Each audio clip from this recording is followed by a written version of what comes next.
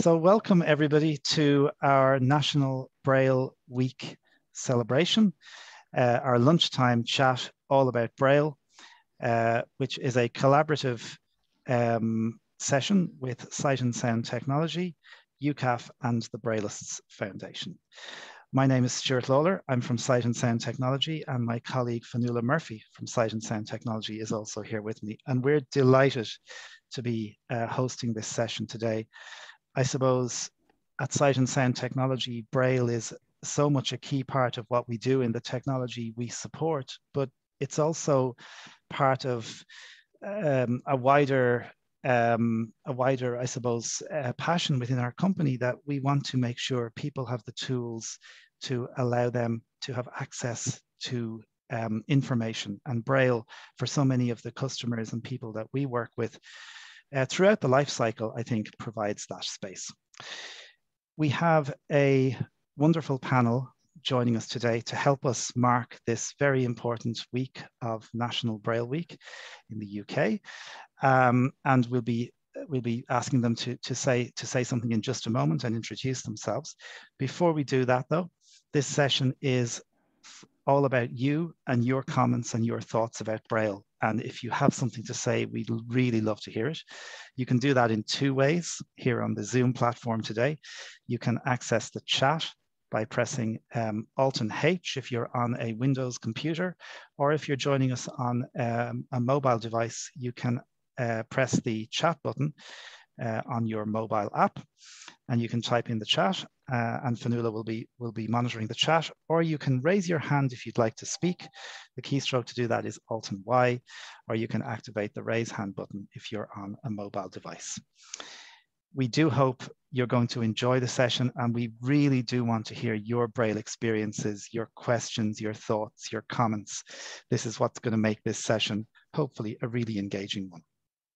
Now, I'd like to introduce our panel and um, Ilka Staglin from Child Vision, just down the road from me here um, in Dublin. Um, Ilka, you're, you're very welcome. Thank you for joining us. Would you like to just tell us a little bit about um, your background and, and what you do in Child Vision and maybe uh, your connection to Braille, which is, which is slightly different to the rest of us. And we will probably be talking a little bit more about that in, in a while. Yes, thank you very much, Stuart, and thanks to Sight and Sound for the invite to this session here. As Stuart already said, I'm the odd one out on this panel because I'm the only fully sighted person on the panel. So I've come to Braille in a different way than a lot of other people on this call today.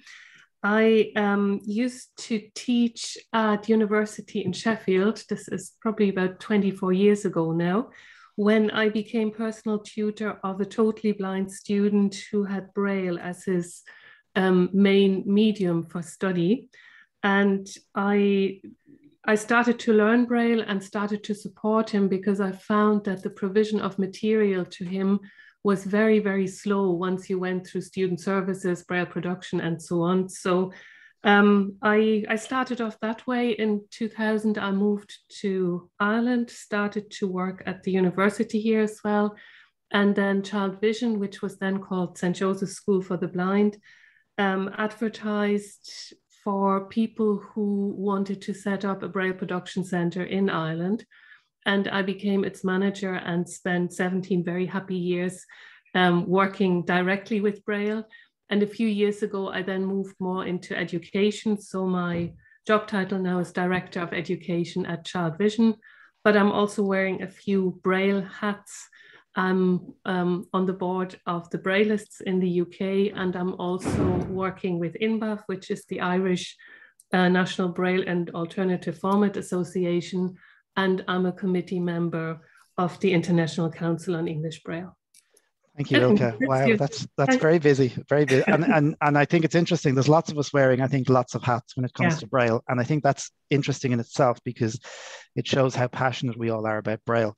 Now, I'm going to go to uh, Roger Firman. Roger is uh, someone who I've had the pleasure of knowing for a long time, actually, and Roger is chair of um, UKAAF. Uh, Roger, you're you're very welcome. Do you want to just tell us a little bit about what you do and maybe your uh, your own? I know you're a, um, an average Braille user. Stuart, thank you very much. I'm certainly um, an avid Braille user, uh, use Braille every day. Um, as Stuart says, I'm currently chair of UK Association for Accessible Formats. And obviously Braille is imp important to the association. It's extremely important to me on a personal level because of my, not only my day-to-day -day work, which is running my own business Golden Chord transcribing printed music into Braille, but I also use Braille in other ways as a uh, musician and obviously for you know for reading and leisure purposes. So braille has always been with me. And it, is just it's just so important to me. And um, as we'll i'm sure discuss later it's um, i couldn't live without it yeah, absolutely. Same here. Uh, Roger, thanks very much. Very powerful uh, intro there. And um, last but by no means least, Matthew Horspool is, uh, Matthew's also, he wears lots of hats, but um, Matthew is uh, part of UKAAF. He's a subject specialist and he's also a member of the Braillists Foundation. Uh, he's on the board of directors. And Matthew, you're very welcome. Great to have you here. Indeed. Thank you very much, Stuart, for the invitation. It's wonderful to be here. And uh, yeah, as you say, I work. Um, I, am the Braille subject lead for the UK Association for Accessible Formats. So I work quite closely with Roger and uh, James Bowden and uh, other people within UKAAF and ICEB. Um, I'm part of the Braillists Foundation. Uh, many people will know me as the person who answers the help address and the person who uh, presents the Braillecast podcast. That's a lot of fun. I quite enjoy doing that. And uh, if you were part of the ICEB General Assembly uh, last year and listened to the live stream, you'll have heard my dulcet tones there. And um, my day job is with a little organisation called Torch Trust, and I have some very interesting Braille work there. Uh, my job's not entirely Braille focused, but uh, I get to talk to churches about Braille Bibles and Braille hymn books and uh, how they can get Braille into their churches. And we've got some exciting announcements, although we're not quite ready to make them yet but hopefully before Christmas, about getting accessible Christian literature onto Braille displays and uh, things like that. So, uh, yeah, it's all very exciting for Braille and myself at the moment. Thank you very much, uh, Matthew. it certainly sounds exciting and sounds that you're extremely busy too. I think everyone's extremely busy on the panel, so we're very grateful for your time. I, I wanted to maybe start by, and, and I guess we've, we've sort of talked a little bit about this already, but people's journey learning Braille. In many cases, and I was thinking of my own journey, and I should probably mention for anyone who doesn't know, I'm blind as well, and I use Braille all the time. And you know, it was, I guess, for for for uh, for those of us who are Braille users, we talk all the time about how different our lives would be if we didn't have Braille. But we come back to that in a while. But I think the Braille learning journey for many of us is interesting. There can often be a figure or figures who really supported us to learn Braille. And I might put that question to Matthew first, and then we'll maybe go around the, the panel. Matthew, what, what was learning Braille like for you way back? Was it a was it a drudge or was it exciting? Um, learning Braille was fun. Using Braille, not so much. Uh, it was one of those things. I just thought, why on earth do I have to do this? And then as I did it more and more and more, I thought, yes, actually, this this makes a lot of sense. And by the time I got to secondary school, I really enjoyed um, using Braille. Uh, but no, learning Braille was fun because I got to learn about all these exciting new contractions and things like this. And it was also completely normal for me. I, I've been blind since birth. I went to Priestley Smith School in Birmingham, which is a school for the blind, but it's one of those unusual school for the blind, the schools for the blind that is a day school and state run. So I didn't have to board, um, but I did have expert braille tuition there from a very small age, and class sizes were very small. It was a primary school as well as a secondary school. Class sizes were very small. We're talking about, you know, I think at one point there were three people in my class, and um, I learnt braille while the other two partially sighted people learnt print, you know, so I didn't have to do handwriting lessons. I did braille while they did handwriting, and it all just felt normal. And uh, I've got memories of spelling tests where it was the norm that you had to write the word in grade one and then you had to write the word in grade two so that you knew how to spell it and you mm-hmm. also knew how to contract it. And I used to have a lot of fun in those spelling tests. I, I spent more time making pretty tables so that I could put grade one down the left hand side and grade two down the right hand side than I did actually doing the spelling and um, yeah, it was was was all a lot of fun. And um, when I came back, my my first job um, after leaving school and college and university was at Exhall Grange School, which is a very similar school to Priestley Smith in many ways. And I was horrified that people weren't doing their Braille tests in grade one and grade two. And um, so that was one of the first things I introduced was grade one and grade two spelling tests and, and I, I, actually want to go back to spelling in a couple of minutes, uh, Matthew, because you, you raised an interesting point there, and we were chatting about it just before we came on air. I, just before we continue, I see we've been joined by quite a few more people, which is great. You're all very welcome to our National Braille Week celebration with Sight and Sound Technology, um, UKAAF, and the Braillists Foundation. We'd love to hear your feedback and thoughts and comments. You can enter in the chat by pressing Alt and H or activate the chat button, or you can raise your hand if you'd like to speak to us by pressing Alt and Y. Now, um, Ilka, let, us just come to you for a sec because you, like, I, I, still think this is incredible. It, it's wonderful that you, as a tutor to a student, took on to learn Braille because you felt the provision for him was too slow, and you said, "Let's do something about it." But what? How did you do it? What was available to you on your own, taking on this pretty significant task back in the late nineties? Um, I think I was very lucky in that my then head of department was very supportive. So, together with another colleague, I went to the Sheffield College and did an introduction to visual impairment course, which was fascinating and really incredibly well put together. And you had some basic Braille tuition there. So, I got the books, and then it was a question of bit of self-study, muddling through, getting some help from the student himself and I also need to say that the student studied German at the university at the time. So he was struggling with German Braille, whereas I, as a German speaker, struggled with English Braille. So we kind of um, communicated quite well. It was it was a kind of similar struggle, but um, it was tough because I didn't have you know a wide community or so. I had somebody in student services, but I, I really enjoyed it and I could see that it made a difference. And its experience I really profited from later in life because I also taught language classes in which the student was a student in. And, you know, people always ask about what is it like to teach integrated classes with sighted and non-sighted people? My experience is it is absolutely feasible, but you do need to put the extra time in and prepare well. Without preparation, um, you're out at sea. So when I moved into alternative format production, that was one of the things I always spoke about with teachers and said, you know, you need to face up to that, that there is work involved, but I think the mutual benefits are, are really huge. Thanks, Ilka. And it's interesting, uh, Ilka, and I, and I should add that we have been friends for a long, long many years, Ilka and yeah. I, and I have rarely seen a, I don't think I've ever seen actually a sighted person who is so passionate about Braille. You know, you see lots of, of lots of users of Braille. Obviously, we're all very passionate about the format that we read every day, but it's rare you'll see sighted people who are equally, if not more, in some respects, passionate about it. So I think that's really worth saying. Thanks, um, Roger, I, would love to know about a little about your Braille learning journey. Was it was it um, was it like Matthew's? Were you creating nice tables as you did your spelling tests, or how how did it work for you? No, it's uh, quite different from Matthew's, which so it's fantastic to hear about Matthew's story. Um, from a very young age, I have memories of learning to read Braille. That would have been uncontracted Braille grade one, and then the day arrived and I was introduced, probably age six, I was introduced to the writing frame. And uh, that posed some interesting um, issues. Well, obviously, those who know the writing frame where you're writing from right to left and letters the other way around to, to how you read them.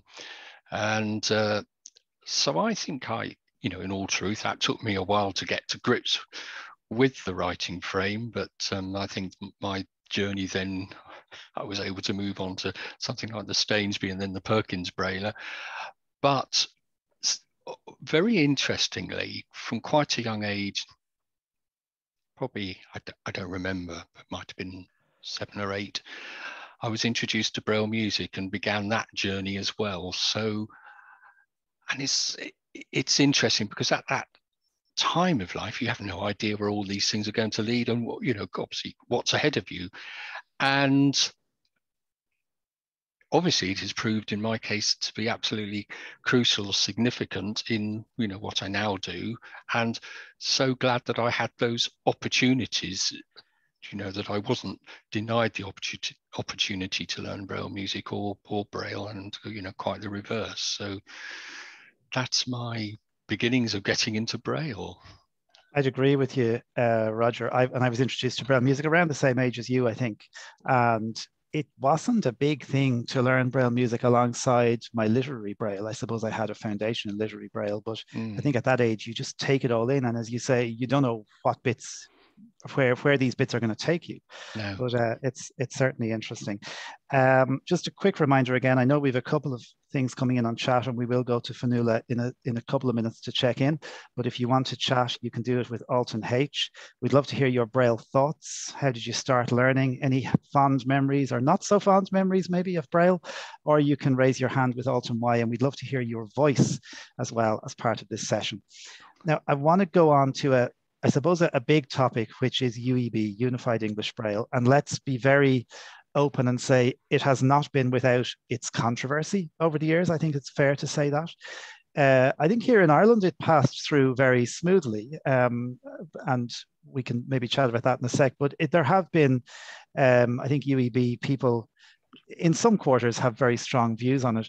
Roger, I might start with you on this one from um, um, a UKAAF perspective, maybe to, to just think a little bit or talk to us a little bit about what you believe UEB has done for the for the code, because it's it was a pretty big change, wasn't it? It was a big project.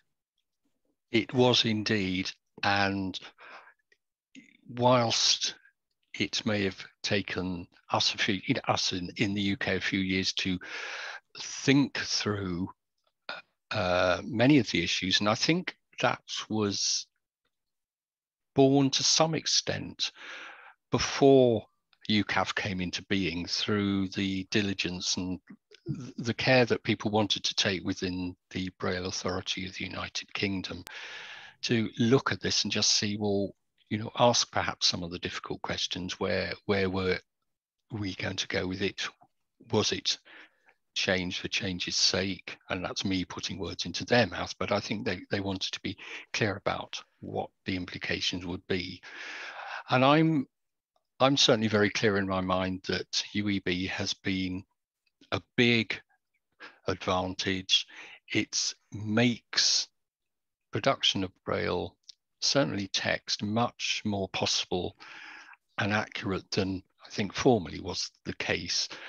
However, on a personal level, and I, and I do want to be clear about this, this is I am talking this next point on, on my own personal level rather than a UKAAF level, that I just, uh, and it may become clear from what other people have to say on this point. I'm just interested to know, for instance, whether people find it a wonderful experience from a leisure reading point of view, depending what you're reading, does, you know, does some of the uh, additional information tend to get in the way, or is it just something you skim over and have no problems with? Um, I know people who do find that some of the uh, additional information can get in the way and stop it being pleasurable. I think I'm somewhere in the middle of it, but however, I would far rather be on the side of the road that is enabling more braille to be produced more easily so therefore we get much more material and help and improve accessibility Okay, uh, thanks very much, um, Roger. It, it makes me think just when, when you mentioned there, I was on a uh, I was on a flight last week and uh, I was offered the Braille safety guide, and I will always take it because you know I kind of feel if I don't, if people say yes, no, they'll absolutely. say no one's going to use this stuff. Yeah, absolutely. And uh, I did read it, and it's in standard English Braille. It was pre UEB, and I remember thinking this is wrong. There's something wrong here, and because you've got so used to UEB. Yeah. yeah. Um, okay, um, Ilka, I, I was curious to get your take on this because you were heavily involved with UEB's um, implementation here in Ireland. In fact, you were you were leading on that. But I think you had some you also had some interesting points to make in how it has helped uh, the development of other language codes in Braille. Yes, indeed. Um, we were we were very lucky in Ireland in that people really followed through with it. We held a lot of um, information meetings And maybe just to say, in terms of the success, we had worked out an implementation plan together with the State Examinations Commission, who's responsible for transcribing exams into Braille. And we had hoped that by 2020, everything would be in UEB. And it was actually the students in secondary schools pushing for it to have it implemented earlier. So we were nearly done with it by 2018. So that was very good that it came from Braille readers themselves who saw an advantage in using the same symbols, whether it was working in computing or sciences or um, straightforward literary Braille. Um, in terms of languages, we updated the Irish Braille code in line with UEB, and that's something that also happened in parallel in Wales for Welsh Braille and previous to us in South Africa. And they have lots of native languages, so they did that exercise several times around. So we found that UEB lent itself to doing that in that most of the punctuation signs and the overall layout conventions were then adapted for the foreign language. And that worked really, really well. And the idea behind it was that children learning Braille wouldn't have to relearn basic signs um, if they were learning a different language. Um, so that was adopted and has been improved on since and was very positive experience over here. Thanks, Ilka. Uh, and yeah, definitely around the uh, Irish code, and I've seen really positive stuff come out of that project as well. Um, Matthew, what's what's UEB been like for you, or what are your thoughts around what it has done for the Braille code? Well, the first thing to say, sort of um, with my UKAAF hat on, is that although it is a big change to the Braille code, and absolutely it is, I'm not denying that, it's not the only set of changes that we've had in the Braille code over the years. There was a set of changes in 2004 to do with italics. Um, if you you know remember back in the sort of mid to late 80s, we were still using the EA sign in precedence to the mm. AR sign. You know, so Braille yeah. has been changing oh, anyway. Yes. Mm. UEB to me doesn't feel like as big a revolution as as perhaps people are, are, are, other people are thinking of it as. It feels just more like the next evolution of Braille. Really, maybe that's because I'm too young to remember how badly the previous set of changes went down. I don't know, um, but um, for me personally, the biggest thing about UEB is the fact that it, is back translatable. Uh, there's lots of emphasis on forward translation and not enough emphasis on back translation. And UEB came in and started to become popular in quotes at about the same time as the iPhone gained braille screen input. And braille screen input for me was an absolute game changer in terms of being able to send text messages and, and type on a touchscreen at pretty much as fast as a sighted person could do it maybe fractionally slower but nowhere near as fractionally slower as it was you know, to that point. And um, around about that that time, um, I was in a relationship with a, a sighted girl. I mean, I'll, I'll, be thirty in February, so you know I'm I'm fairly young, and I was I was in a relationship, and it was a very happy relationship. And uh, she insisted on sending me smiley faces, and uh, I thought, well, yes, okay, th- this is great, but I, I I probably ought to you know send her some smiley faces back, and realised that of course if I'm in SEB the brackets I'm, I'm talking about colon left bracket colon right bracket smiley faces here. And mm. um, the brackets in seb are the same. It's a lower g. So actually most of the time the translator would work. If i did a colon and a lower g it would translate as a, as a smiley face. But if i for some reason wanted to put a sad face in it would never work. And just to be able to have different signs for the brackets so that i could do this reliably in braille screen input and send it off and dare i say it look normal um, you know, to me, this was just absolutely brilliant. And, and there have been various things since then where there's just you think, yeah, there's there's no ambiguity here. I can type something, the translator knows what I want, it will translate it properly, and I don't have to worry about, you know, do I need a letter sign here or do I need a, you know, a, a special sign here to eradicate this contraction? It, it all just works. Yeah, I know it, it comes up frequently here when we're doing um, when we're doing tech support for people and you you come across people who are using um, UK Braille and you're trying to you're trying to convince them you know uh, very quietly to maybe to maybe switch because it might be easier to move to uh, to UEB for all sorts of reasons that the panel have outlined already. Um, now I'm just going to go to Fionnuala because I think we had some messages in chat and we may have had I don't know if there was a hand went up but it may have gone down. So Fionnuala, mm. have we anyone that you want to reference? We had a hand up. I, I didn't quite catch who, who it was, but if you want to put your hand back up, now is the time. Um, and yeah, nothing too much in the chat yet. Just a comment there from Derry about spelling when you mentioned that, Stuart, and just oh, the, yeah. the, the importance of of spelling and the impact of grade two braille on that and, and possibly the negative impact, I suppose, when you're not learning to spell. Uh, it's Judith. Judith Fierce is, uh, I think, has hand hand was up and then was down, has just gone back up again. So Judith, um, we should be able to bring you in. I think. Um, oh, I, I, see it now. Sorry, Stuart. Yeah, I, I see Judith. Yeah, you can un unmute yourself so, there, Judith. So Judith, you should be able to unmute yourself. Yeah, there you go. I think I think we have you, Judith. Yeah, can you hear me? We can. Yes, we you? can, Judith. So I was going to say first of all about learning Braille that um, I was really thrilled to learn Braille because I started to use my sight when I was six, and I just really, you know, started reading print books very avidly, and then couldn't read them. And so when I got to Linden Lodge School and I started to learn Braille, I was absolutely thrilled, you know, and I sort of raced raced through it because I could read books again. Um, and I use Braille every single day, not just because I'm a Braille producer, but I use it for, my, for myself. Um, but I did want to say something about UEB. I don't like UEB. I'll be quite honest about that. I think it's very clumsy. Um, there's a lot of spaces. We don't. We've lost some of our symbols. I hate all the italics and bold signs. Uh, it drives me nuts. Um, I can understand what the panel is saying about the advantages, and if that that works for other people, that's that's great. Um, as a producer, I actually run two systems because a lot of my customers are older people and they do don't want UEB. So I give them SEB um, and I but I use UEB as def, the default obviously now because it's you know it's the thing but for people who want SEB I still do SEB I still use SEB myself. And um, I do think that um, it has put a lot of people off. I know a lot of people who stopped getting Braille magazines because they just don't enjoy reading anymore because we have all these extra you know dots and signs around the place.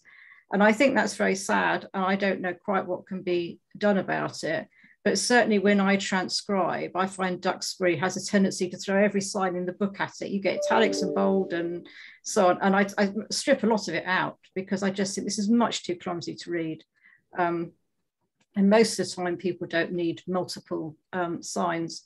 So I think that's a pity and I don't know what could be done about it, but I, I do think it's something that, that ought to be um, addressed really.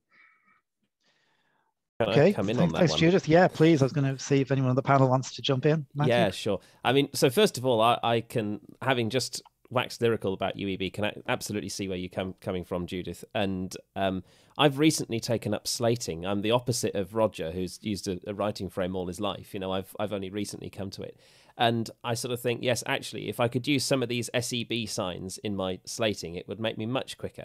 Um, so you know, what you use at home is what you use at home, and and I think we probably need to have a more concerted effort to um, bring back, if not in uh, you know mainstream writing, if you like, uh, bring back an awareness of some of these signs and an awareness of some shorthand codes in general um, to to make note taking a bit more efficient.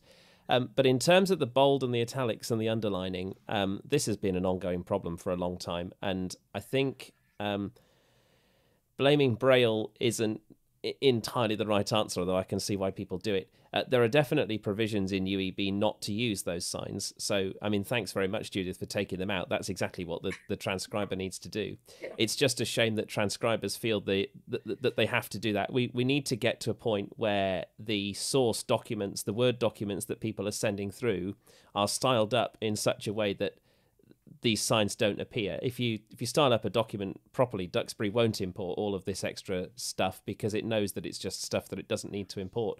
But people don't know how to make those Word documents, and we need to be much better at, at you know using styles instead of fonts and things like this. And this mm. will definitely help this problem. This, this is a huge issue, I think, for transcribers. The source document is often, uh, shall we say, less than helpful uh, in the way it's styled and set up. And so I seem to spend a lot of my time um, kind of overriding that and sort of trying to make it more user friendly for the yeah. for the you know the end user. Mm-hmm. And I, I and I you know I you know you can't teach the whole world to do word properly. So I don't know quite know what the answer is, but I, it's it's a continuing frustration. I'm sure it is for all braille producers. It mm-hmm. certainly is for me. Yeah. I spent so much time at Exhall doing this sort of stuff that in the end, I just used to save it as a text file and bring it back into Word and start from scratch because it was easier to start from scratch than it was to try and repair somebody else's badly done Word document. Yeah, absolutely. Yeah. I think I think I would just add that I, I think it's I think it's really a really positive thing that you know that we are having these kind of conversations and we we you know we want to find ways forward so i think with that spirit in mind there is no reason why i, I mean as matthew was kind of indicating well and judy can you know um, from their perspectives if it is possible to as you say to have an option so that if we, if a book for instance um, well anything as you say as a source file can you can choose whether you want to have everything or you know less. So you could have perhaps different different types of things along the way. You could either have a you know but it's important that these choices are are there and you know not you know that people who are expressing these views aren't thought of as being oh philistines of the 17th century. Um, but you know you know what i mean because obviously braille wasn't around yeah but but you, you know that we have these open positive discussions and find ways forward by which because what we don't want to do in the end is to is we want to encourage people to be using braille not putting them off using braille. And for those who who are finding these things that they just don't want it done in this way. So let's go on having the discussions. Okay thanks roger matthew and thank you uh, judith for your question. We appreciate appreciate that um, I'm just going to really quickly, because we have a raised hand, because I, I want to do go back to one or two other points with the panel, but we have Liz McGluckie who has her hand raised for a little while. So Liz, um, just add should, Liz there. You should, oh yeah, thanks Fionnuala. You should be able to unmute yourself, I think.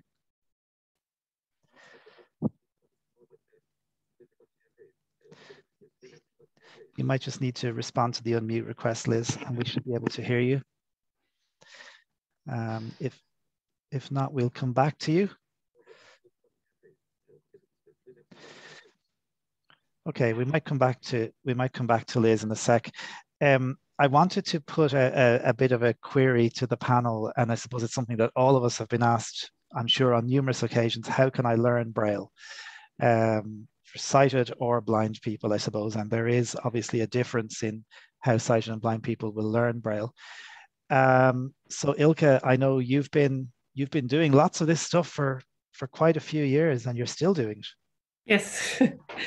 Um, ChildVision is running a learn braille course mostly for parents of children who are learning braille or teachers snas um, and we have developed this course over now i think we're doing the 13th or 14th year now um, it was accredited for at further education level. It's now accredited by our Braille Association, and it's based on the Birmingham Braille course. Steve McCall um, gave us the production rights to the Birmingham Braille course, and we have tailored our course around it.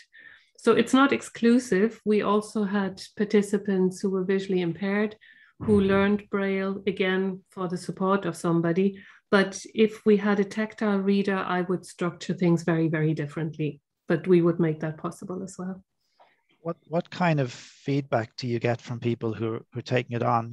I suppose you know people. I, I and I know I've had the pleasure of of talking to some of the participants yeah. over the years. what what do people say to you because they're taking it on? It's a pretty significant thing to take that on in the middle of everything else you're doing in life. I think um, everybody's very enthusiastic at the beginning. And once you hit stage four and things um, are not quite as straightforward anymore, um, they take a little break and realize, yes, this is a little bit more work than, than they thought it would be at the beginning. But what we're trying to do is to kind of um, demonstrate how important it is to have correct Braille, to have well embossed Braille because most people on the course are sighted learners, which means they're learning Braille by sight, but they also have to have an understanding that if you know the Braille isn't properly embossed, if they're not pressing down on the Perkins key properly, what's coming out can suddenly have a very different meaning. And to, to get that shift from visual perception to tactile perception in the learners, we put a lot of time into that and talk about that. And um, all our um, test papers are moderated by um, a Braille reader, a non-sighted Braille reader, just to make sure that that we have that standard throughout. And I think that's very important, whatever Braille course you're on, that um, you get good feedback on what you can improve on in your Braille learning. Okay, thanks very much, Ilka. It's a it's a great program, by the way. I can I can speak to that from having talked to lots of the participants over the years.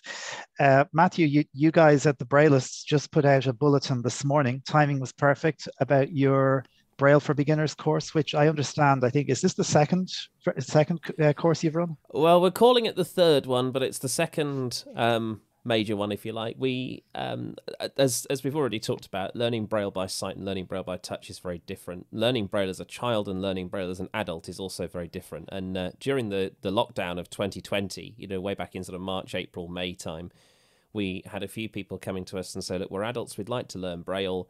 Um, where do we go? What can we do?" And so we ran um, we didn't really know what we were doing, but we had a load of people with fingerprint. And we found somebody who knew fingerprint, and we said, right, okay, let's run a session and see where we go.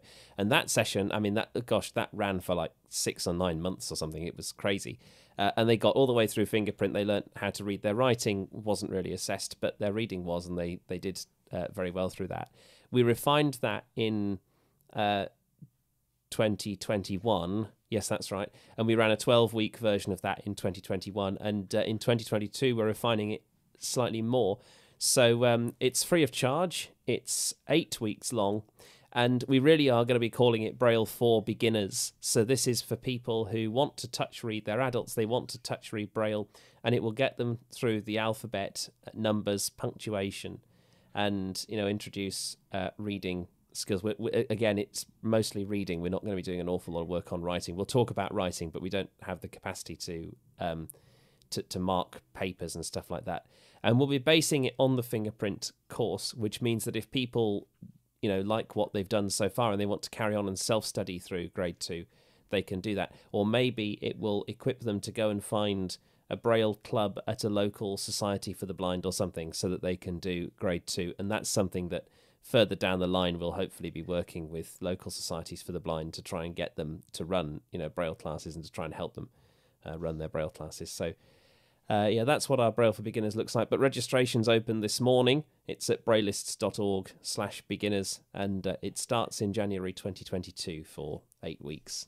So plenty of time and a great um, New Year's resolution, Matthew, for someone who says, I'm, I'm going to... Yeah, we were saying this this morning. We were saying we should yeah. put out a bulletin on World Braille Day. This is, Absolutely. You know, New Year's resolution, learn yeah. Braille.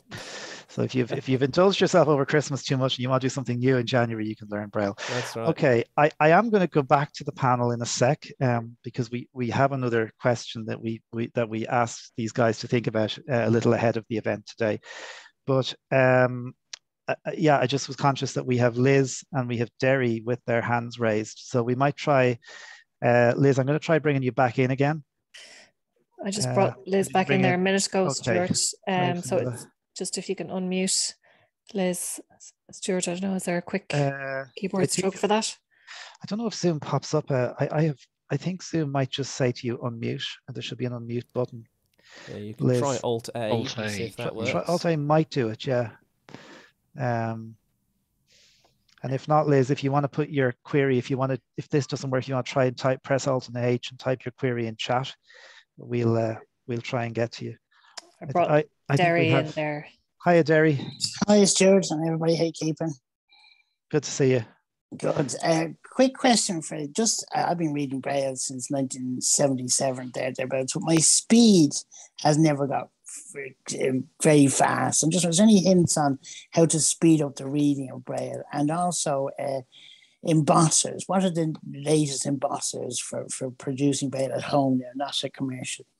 So I think this is a really interesting question. I'm going to, before I throw this out to the panel, I'm going to just mention um, something because Derry, I'm, I'm kind of a bit like you, I think, but I was doing a piece of research years ago for a gentleman called Professor Michael Tobin from the University of Birmingham, who Roger and Matthew certainly may be aware of.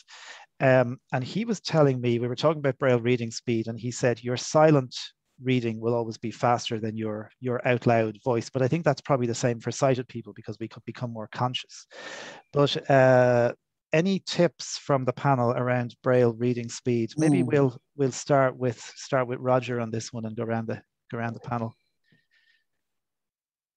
Any thoughts, hon- to- Roger? No, I'm. I, I mean, to be honest, I'm not a. I'm not a teacher or anything. Uh, you know, braille teacher. So I think it. You know, for those who've got more, more expertise in the area, it'd be far more sensible to hear comments from them rather than me.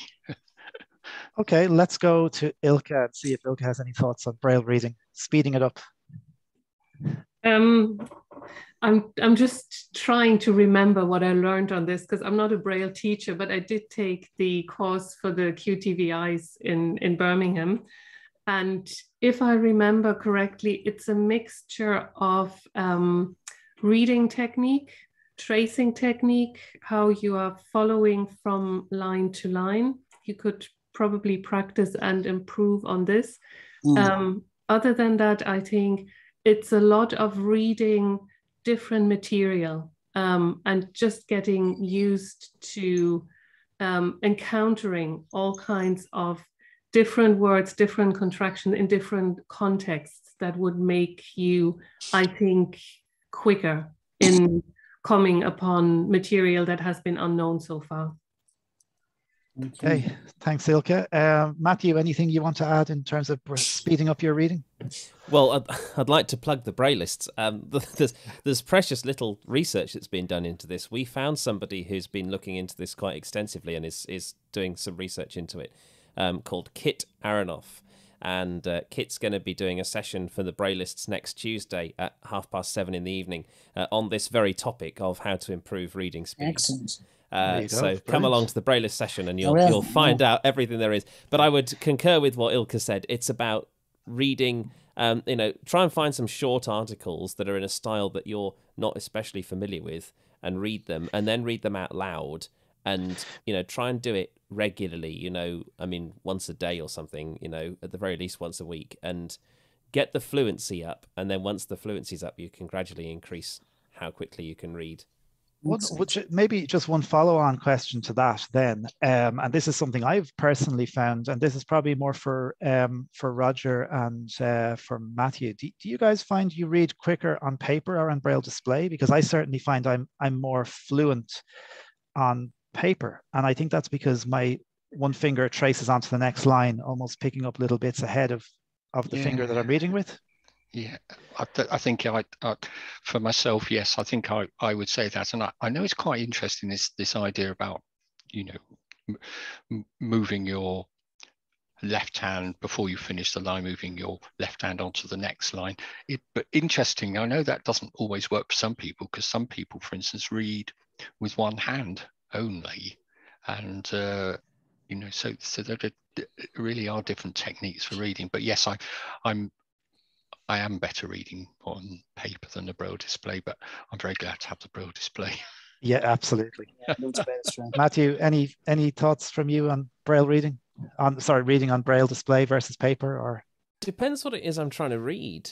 Um, I uh, am young enough to have gone to school and been taught on braille note takers and things like this, so I'm very comfortable with braille displays. I read books. Uh, you know, when we were reading Shakespeare and things like this, I had the choice of either bringing five volumes of braille or a text file on a braille note taker, and I opted for the text file. So I got very good at reading things like Shakespeare on braille displays and reading my essays on braille displays.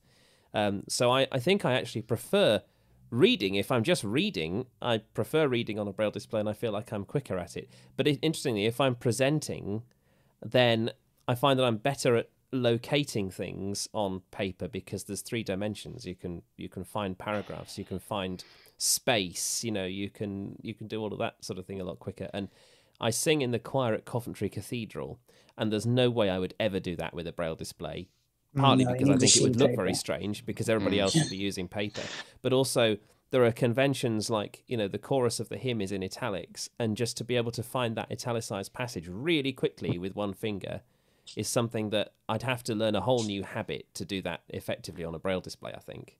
Interesting story, uh, Matthew, when you talk about presenting when you're using paper. And a friend of mine told me years ago that he was presenting at something, left his notes on a seat while he went up to get some water, was talking to somebody, and he came back and somebody was sitting in his seat, had sat on the notes and then he was trying to uh, rescue his notes and read from them. Yes. Not without its Yes. perils, I think. You know. You see, people say, "Oh, you should always present from paper because what if the battery goes flat on your braille display?" And you Yeah. say, yes, well, what if what if the dots What go if? flat? Yes. Yes. Okay. Uh, thanks anyway. Um, But I uh, would to- I would say thanks, if I can just do do a little plug that I I mean for for me personally I have found um, because of the work I do using the Canute extremely helpful when I need to you know have multi-line braille displays particularly for music. Yes, and the Canute is a, an amazing, amazing device. It's that's that's only going to get better. yes yeah, Uh, exactly. So thanks, Jerry, for the question. Yeah, Appreciate thank that you. very much. Good to Yeah. good to hear you. And Derry was Um, asking about braille embossers. Um, sorry, just just very quickly on that. Uh, I'm a great fan of Index embossers, and uh, Sight and Sound will be very happy to hear that because they sell Index embossers. But the new version five Index embossers, in my opinion, is where to go for a good embosser. Yeah, Index are uh, they're a bit of a, a workhorse, I suppose you'd say. They'll Mhm. they'll they'll kind of go forever. So we do like them. Um, okay, we have a couple of minutes left. Uh, there is a raised hand from Mike Townsend, and um, it's great to see Mike here today. yeah So Fionnuala, I don't know if we can bring Mike in. Sorry, Stuart. Um, Trying to unmute myself there and let Mike in at the same time. Yeah, Mike, if you unmute yourself there. So Mike, you should be able to unmute yourself. Yep, there you go. How are you, Mike? If you're uh, unmuted there. Um, Oh, Mike, you were unmuted. Now you're muted. Yeah, now you're unmuted. Can you hi, hear me Mike. now? We can hear you. How are you? Oh, oh dear, the technology today. um, uh, speeding up reading speed, um, I would say train up extra fingers, at least two would help a great deal. And you can do it just by reading with one finger, the one that you don't normally use, and train it up with that. I've been quite, uh, I was talking at the Braille meeting the other day, concerned about Braille, uh, blind children learning Braille. And quite often I've been to two schools recently and they've been very um, stilted in their reading. And when I've read them stories, the, the teachers have been amazed that you can read continuously. So, what I'm saying is that they need to be taught, and you need to think about the content of what you're reading and not just the code. It's not a decoding process, it's a, an actual getting into the content. And someone told me when I was quite young, uh, I, I, I lost my full sight when I was eight. Um, I had a bit before, I was partially sighted before. And if you're um, Miss Chamberlain of Royal School of Industry, Bristol, was the one who really got me into reading Braille with the Radiant Way series, if anyone can remember those. But I lost my remaining sight quite suddenly and ended up in hospital and I couldn't do anything else other than lie on my back and read Braille. So that got me up to real speed. However, what they said was, don't just go for accuracy when you're trying to increase your speed. Just go for meaning. And you may miss the odd word or miss the odd code, but it, it'll speed you up. And try and not decode, look at the shapes of the dots, the shapes of the words, because that is how sighted people tend to read by shape rather than by individual stroke and dot and so forth. So um, there's a lot too, and I'm, I'm interested that Braillists Foundation's looking at um, methodology of speeding up reading of Braille because it's so important. Then um, uh, multidimensional Braille, we did raise this a bit at the ICEB, and I do think multidimensional Braille understanding of, of literacy, where things are on the page, or the structure of a document uh, are very important. And we lose a lot of that with the window into Braille with our note takers and little displays. And that's where things like the Canute come in because they can give um, a full page or, well, the uh, approximation of, of a full page. So um, I'm looking forward possibly to get one of those as well. And there are others in the wings possibly coming along with, with multi-line displays. But the structure of a document is also important. Then I, I do present from a braille display, an 18 cell braille display actually, and manage it okay. And I don't think people notice. Quite often they don't even notice I'm using a display. They think I do it from memory, which is quite a powerful experience, I suppose, for some. And that gets me to one thing we've not mentioned today on Braille Day, and that is that it Braille is a key indicator as whether you'll get a job or not. A, a lot of blind people, I think they reckon 80%, I saw a stat somewhere, 80% of totally blind people or those nearly blind, um, um, 80% of those that are in, in, in employment are actually Braille users. So it's a key indicator as to whether to get a job or not. And I would say that most of the jobs I've done over the years, I would find absolutely impossible without Braille. Um, but uh, there's a lot of stories here. I could go on, Stuart. And the, Thanks. No, thank you, Mike. And I'm definitely glad you mentioned. Yeah, but shut me the, up. The, hey, hey. The, the, Braille, the Braille and employment piece is definitely one worth mentioning. So thank yeah. you for for bringing that to our table today, and we appreciate you joining us today. So thanks a million.